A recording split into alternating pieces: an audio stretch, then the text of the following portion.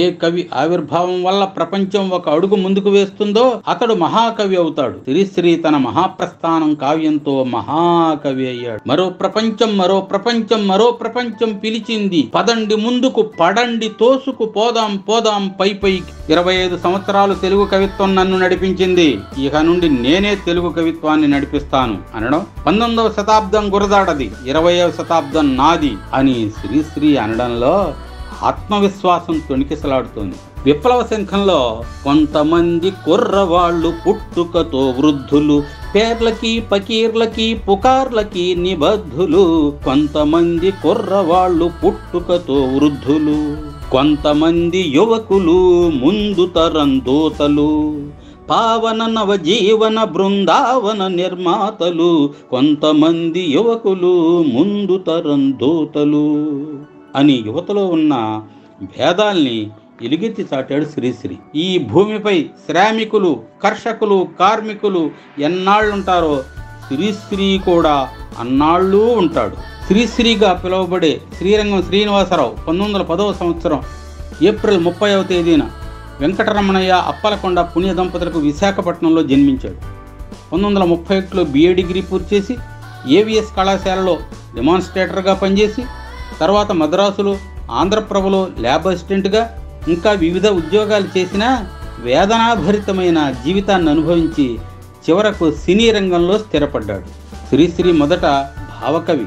మొదట్లో ప్రణయ రచనలు డిటెక్టివ్ నవలలు అనువాద రచనలు చేశాడు. గంభీ అభ్యుదయ కవిత్వానికి మేనిఫెస్టో వంటి మహాప్రస్థానం అనే గొప్ప కావ్యాన్ని నైవేద్యంగా సమర్పించాడు శ్రీశ్రీ. మహాప్రస్థానం అంటే శ్మశానానికి వెళ్ళడం అని అర్థం. మానవ విముక్తికి ముందుకు వేసే అడుగు అని మహాప్రస్థానం అర్థం మార్చేశాడు శ్రీశ్రీ. తెలుగు కవిత్వాన్ని మరో మలుపు తిప్పిన మహాప్రస్థానం పంతొమ్మిది వందల యాభైలో పుస్తక రూపం ధరించింది. తెలుగులో మహాకావ్యాల అనేకం అందులో మహాప్రస్థానం పతాకం. ఈ పుస్తకం ముందు మాటలో చలం యోగ్యతా పత్రం ఉంది. అది చదివితే చాలు శ్రీశ్రీ అంటే ఏమిటో తెలుస్తుంది. చలం రాసిన ఈ యోగ్యతా పత్రాన్ని శ్రీశ్రీ కవిత్వానికి కిరీటం అంటారు. ఈ సందర్భంగానే నెత్తురు కన్నీళ్ళు తడిపి కొత్త టానిక్ తయారు చేశాడు శ్రీశ్రీ ఈ వృద్ధ ప్రపంచానికి అంటాడు చలం. శ్రీశ్రీ కవితా ప్రస్థానం మహాప్రస్థానం నుండి మ- మహాప్రస్థానం నుండి మరో ప్రస్థానం వరకు సాగింది. అయితే మహాప్రస్థానం ముందు శ్రీశ్రీ వేరు మహాప్రస్థానం తర్వాత శ్రీశ్రీ వేరు. శ్రీశ్రీ కవిత్వానికి శ్రమజీవుల వేదనయే పునాది. వారి సముద్ధరణమే ఆయన లక్ష్యం. శ్రమజీవుల కొరకే ఆయన కలం పట్టాడు. శ్రమైక జీవన సౌందర్యానికి సమానమైనది లేనే లేదంటాడు. ప్రతిజ్ఞ గేయంలో కమ్మరి కొలిమి కొమ్మరి చక్రం జాలరి పగ్గం సాలెల మగ్గం శరీర కష్టం స్ఫురింపజేసే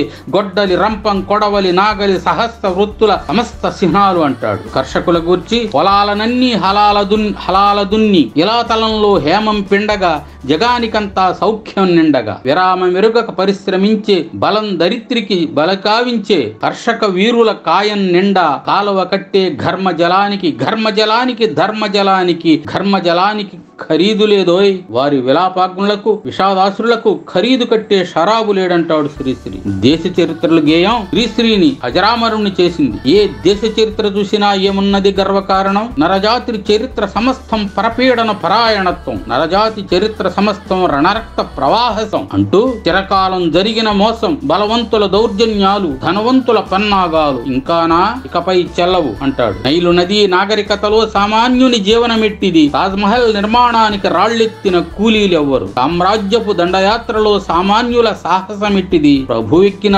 పల్లకి కాదోయ్ అది మోసిన బోయీలెవరు అని రేముకుని రెమగూర్చి ఎలుగెత్తి చాటాడు. జగన్నాథుని రథచక్రాల గేయంలో పతితులార భ్రష్టులార బాధా సర్పదష్టులార బ్రతుకు కాలి పనికి మాలి సినిదేవత రథచక్రపు టిరుసులలో పడి నలిగిన దీనులార హీనులార కూడులేని గూడులేని పక్షులార భిక్షులార ఏడవకండి ఏడవకండి వస్తున్నాయి వస్తున్నాయి. జగన్నాథ జగన్నాథ రథచక్రాల్. జగన్నాథుని రథచక్రాల్ రథచక్ర రథచక్రాలు వస్తున్నాయి వస్తున్నాయి అని ఆశావహంగా చెప్పి పతితులార భ్రష్టులార దగా పడిన తమ్ములార మీకోసం కలం పట్టి ఆకాశపు దారులంట అడావుడిగా వెళ్ళిపోయే అరుచుకుంటూ వెళ్ళిపోయే జగన్నాథుని రథచక్రాలు రథచక్ర ప్రళయ ఘోష భూమార్గం పట్టిస్తాను భూకంపం పుట్టిస్తాను అని చివర్లో వచ్చేశాయి విచ్చేశాయి. జగన్నాథ జగన్నాథ జగన్నాథ రథచక్రాలు జగన్నాథుని రథచక్రాలు రథచక్రాలు రథచక్రాలు రారెండో రెండో రండి. ఈ లోకం మీదేనండి. మీ రాజ్యం మీరేలండి అని ముగిస్తాడు. ఈ వీడియోని మీకు అందిస్తున్నవారు మా చెట్టు నీడ అసలేం జరిగింది పుస్తకం. కస్తూరి విజయం వారు సమర్పించిన ఈ పుస్తకం వివరాలు క్రింది డిస్క్రిప్షన్లో ఉన్నాయి. అందుకే శ్రీశ్రీ రక్తం కవిత శ్రీశ్రీ ఊపిరి నవత అంటారు. తెలుగు సాహిత్యంలో ఒక్క శ్రీశ్రీయే ఉన్నాడు ఉంటాడు కూడా. శ్రీశ్రీ మార్గం అనితర సాధ్యం. శ్రీశ్రీ దేన్నైనా భిన్నంగా చూస్తాడు. అది అధికమైనది కావచ్చు అల్పమైనది కావచ్చు. శ్రీశ్రీ దృష్టే వేరు. కుక్క పిల్ల అగ్గి పుల్ల సబ్బు బిళ్ళ. రొట్టె ముక్క అరటి తొక్క బల్ల చెక్క. తలుపు గొళ్ళెం హారతి పళ్ళెం గుర్రపు కళ్ళెం. అదేది కవితకు అనర్హం అన్నాడు శ్రీశ్రీ శ్రీశ్రీ తెలుగు సాహితీ ప్రపంచంలో ఏ విధంగా సంచలనాలు సృష్టించాడో తెలుగు సినీ ప్రపంచంలోనూ అజరామర గీతాలు నుంచి జేజేలు అందుకున్నాడు. సినీ పాటలకు కవితా గంధాన్ని మాత్రమే కాదు అభ్యుదయ సింధూరం కూడా అద్దాడు. ఎన్నో సినిమాలకు కథలు మాటలు పాటలు వ్రాశాడు. మీరు సినిమాలకు ఎందుకు పనిచేస్తున్నారు? అని అడిగితే నేను బ్రతకడం కోసం సినిమా వాళ్ళు సంపాదించుకోవడం కోసం అని నిర్మోహమాటంగా చెప్పాడు శ్రీశ్రీ. కల్పనకు పెద్దపీట వేసే సినీ రంగంలోనూ ప్రజల క్లేశాలను సమకాలీన సమస్యలను ప్రస్తావించి సభాష్ అనిపించుకున్నాడు. వెలుగునీడలు చిత్రంలోని పాడబోయి భారతీయుడా పింది స్వాతంత్రం వచ్చెనని సఫలే చేసి సంబరపడగానే సరిపోదోయి. సాధించిన దానికి సంతృప్తిని పొంది అదే విజయమనుకుంటే పొరబాటోయి ఆగకోయి భారతీయుడా కదలి సాగవోయి ప్రగతిదారులా. పాడవోయి భారతీయుడా? అని ఆనాడు శ్రీశ్రీ చెప్పిన పాటలోని భావం నేటికి వర్తిస్తుంది. ఆకాశం అందుకునే ధరలొక వైపు అదుపులేని నిరుద్యోగం ఇంకొక వైపు.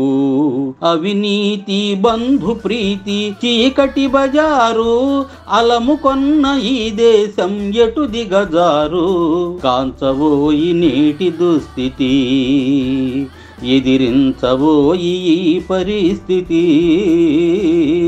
పాడబోయి భారతీయుడా. శ్రీశ్రీ విప్లవ గీతాలు ప్రబోధ గీతాలు ఎంత గొప్పగా వ్రాశాడు. ప్రేమ గీతాలు విరహ గీతాలు హాస్య గీతాలు కూడా అంతే గొప్పగా వ్రాశాడు. ఆరాధన చిత్రంలో నా హృదయంలో నిదురించే చెలి కలలలోనే కవ్వించే సఖీ వయారివై మయూరివై నేడే నటన మాడినావే నన్ను దోచినావే నా హృదయంలో నిదురించే చెలి. డాక్టర్ చక్రవర్తి చిత్రంలో మనసున మనసై బ్రతుకున బ్రతుకై తోడొకరుండిన అదే భాగ్యము అదే స్వర్గము. ఈ పాటను మనసు కవి ఆత్రేయ విని ఎంతో మెచ్చుకున్నాడట. శ్రీశ్రీ మహాప్రస్థాన కావ్యంలో జయభేరి అనే శీర్షికలో గల నేను సైతం ప్రపంచాగ్నికి సమిధనొక్కటి ఆహుతిచ్చాను అనే గీతాన్ని ఠాగూర్ చిత్రం కోసం సుద్దాల అశోక్ తేజ వాడుకుని జాతీయ అవార్డు చేజిక్కించుకున్నాడు. గంభీర కవిత్వం రాయడమే కాదు శ్రీశ్రీ హాస్యప్రియుడు కూడా ఈయన ఎన్నో ప్రసిద్ధమైన హాస్యోక్తులు రిపార్టీలు సృష్టించాడు.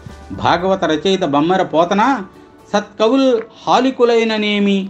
అని అంటే సత్కవుల్ ఆల్కహాలికులైననేమి? అని శ్రీశ్రీ అని తనకు మద్యం ఎడలగల ప్రియత్వాన్ని చాటుకున్నాడు. రెండు స్త్రీలు ధరించి రెండు పెగ్సు బిగించి వరలు శబ్ద విరించి అనుచు మీటెను దంచి ఆరుద్ర కవితా విపంచి తనపై సరదాకి పలికిన మాటల్ని స్వాగతించి పునరుద్ఘాటించడం శ్రీశ్రీ వ్యక్తిత్వంలో ఒక కోణం. ఖడ్గ సృష్టి సిరిసిరి మొవ్వ శతకం వంటి ఎన్నో రచనలు చేసి అనేక అవార్డులు అందుకొని అభ్యుదయ రచయితల సంఘం అధ్యక్షుడిగా పనిచేయడమే కాక పౌర హక్కుల నిర్మాణానికి కృషి తెలిపాడు. ఈ విధంగా తెలుగు కవిత్వాన్ని ఖండించి దీవించి ఊగించి శాసించి శ్వాసించి రక్షించిన మహాకవి శ్రీశ్రీ పంతొమ్మిది వందల ఎనభై మూడు జూన్ పదిహేనవ తేదీన మహాప్రస్థానం అందాడు.